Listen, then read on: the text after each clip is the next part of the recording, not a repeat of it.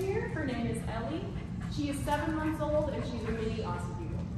She doesn't have any prior training and she comes to us for the reasons a lot of puppies do. She likes to get into things around the house and she's very energetic. So we're trying to channel that with something more positive and teach her a few things. So let's see what she knows. Ellie, can you sit? Do you sit? Excellent sit. Do you down? Can you down? No? You can jump? Can you walk? You want to go walk on a leash?